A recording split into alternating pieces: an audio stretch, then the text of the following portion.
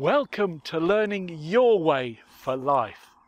My name's Andy Wicks and I'd like to explain how this project started.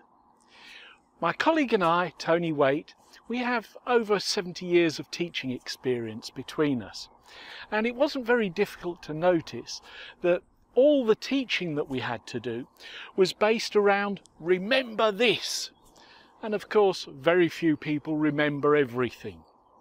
So we thought understanding what you did would be a much better way of doing things.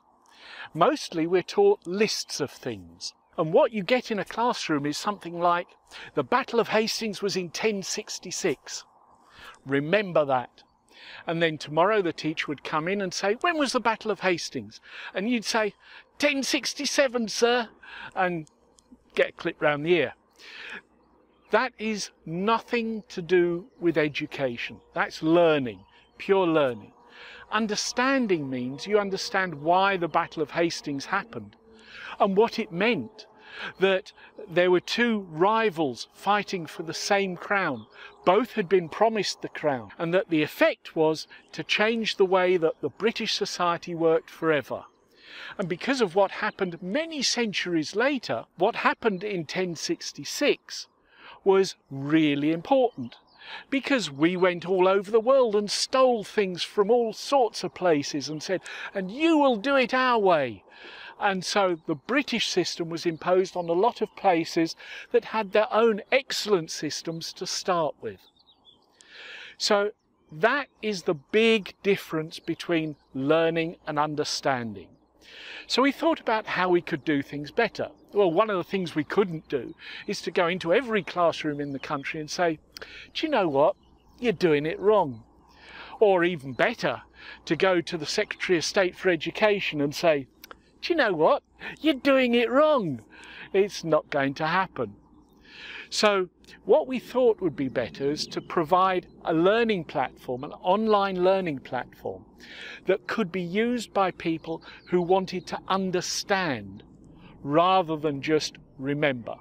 Yes, you'll see lots of facts presented on this site, and if you remember them, great, no problem with that. But you should understand why those facts matter and how they can be used in interpreting other things. So we looked at which theories of learning were considered to be good practice.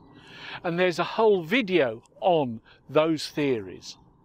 Having decided on what was good practice, we then sat down and decided that the best way to make people understand was to break the syllabus up into little bits, with tiny atoms. We call them tasks because it has more to it than just that little bit of learning.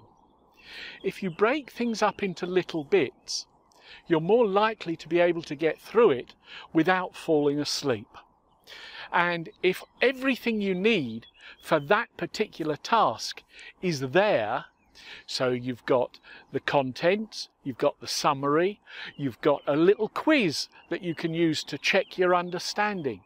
You may also be able to complete coursework if you're part of a course on that page as well.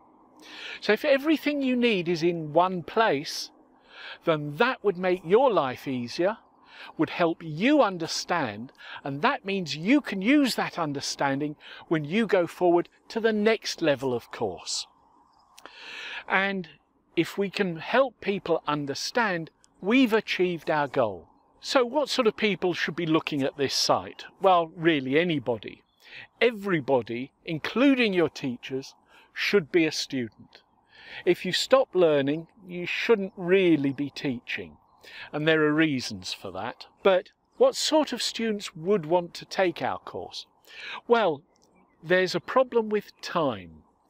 We have a system where you have a scheme of work and each week you know exactly what's going to be covered except that some people find some bits more difficult, they get left behind.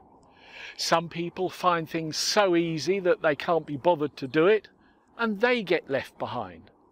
And the syllabus only works for those people right in the middle, and that's going to be a third of the class at best. So how can you go about ensuring that everybody gets to play? Well, you allow them the time they need to do whatever it is they want to do. So, for example, you're probably cleverer than me, so you would learn this far quicker than I would. But I keep going, and that bit at the far end that you find more difficult, I find quite easy. So we end up in the same place at the same time, but in different time zones for each of these tasks. The materials are split into these little bits, and you can watch these materials as video, you can read them as a PDF, you can read them on screen, or you can listen to them as an MP3 on your favourite player. The order that you take the tasks in is not set. Your teacher may say, do them in this order, but if you feel that one over there would help you most, then do that one over there first. There is nothing on the site that says you must do things in a particular order. You may have a background that I haven't got. So you skip through several of the tasks and continue where you left off. There is no right way of doing things. There's no penalty for trying. Uh, so if you try and it doesn't work out, just try again. It's a computer. It doesn't care how often you take the tests. It doesn't care how long you take to read through something. It's not going to judge you. And there is no penalty for going back to previous tasks and saying, ah, oh, how did I do that again? Uh, what was it I needed to do? Ah, yeah, that was it. You can go backwards and forwards at will. And in that way, you can make your education your way. This site is free. It's free for students, it's free for schools, universities, colleges, anybody. You will see discrete advertising on the left hand side of the screen. That's there to pay for the servers and for the software and all of that.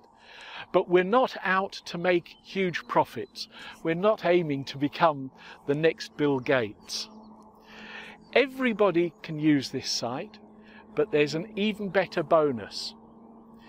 Everybody is a student and everybody can be a content creator. So that piece of uh, that task that you found really difficult to understand, you can add a bit to it that says, this student created this explanation of how this bit worked. And so in that way, everybody gets to improve everything that's going on. And if you want to add it in different languages, that's fine too. Nobody is going to stop you doing that. So uh, everybody is a student and a creator, but everybody can also be staff. You might decide that you'd like to have a set of learning materials on your favourite football club, on your favourite pop group, on your favourite hobby. Yet you like uh, collecting dinosaur bones for all I know. Go for it. Create your own set of materials. You can do that on this site too. And if you have any questions or if you feel that there's something we could do better, please let us know. Thank you.